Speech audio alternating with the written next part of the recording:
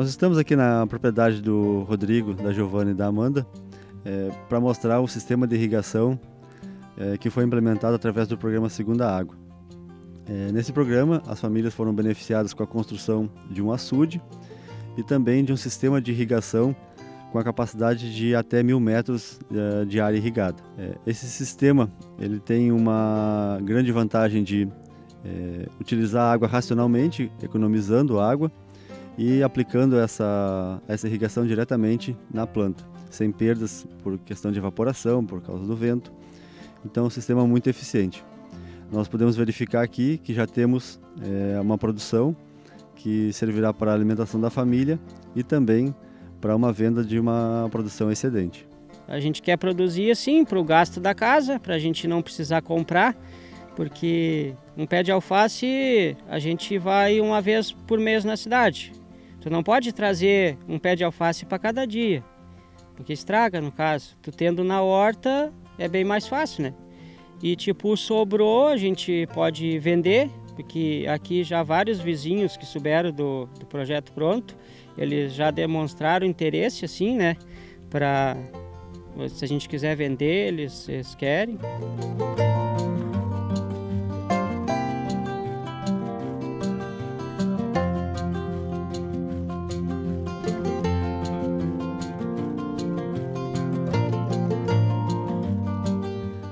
Um sistema de irrigação é composto por uma, um reservatório de água, que nesse caso aqui é um açude, é, depois um sistema de bombeamento, que coloca essa água aqui na caixa d'água. É, nessa caixa d'água tem um sistema de filtragem para evitar entupimento dos, dos canos de distribuição da água. E depois o sistema de gotejamento, que leva a água diretamente às plantas. Assim nós temos uma possibilidade também de fazer a adubação das plantas é, direto com a água da irrigação.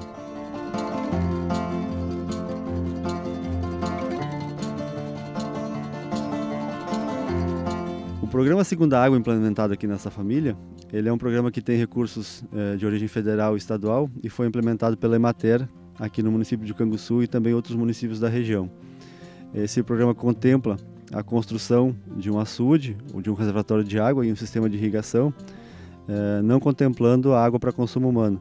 Até por isso esse nome de programa Segunda Água.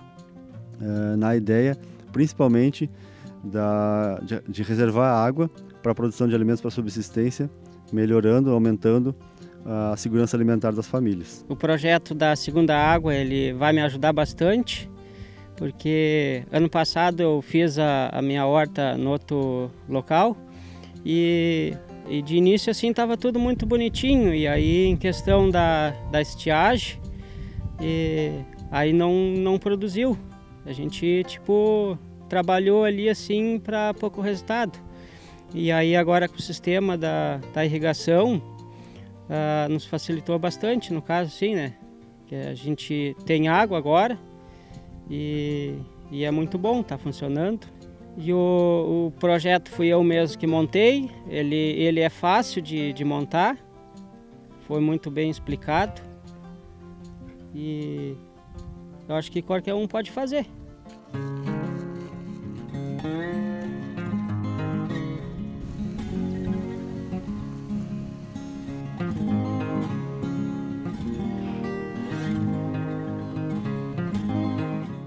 A região sul do Brasil, eh, de maneira geral, tem um período de grande quantidade de chuvas e nós aqui em Canguçu não é diferente.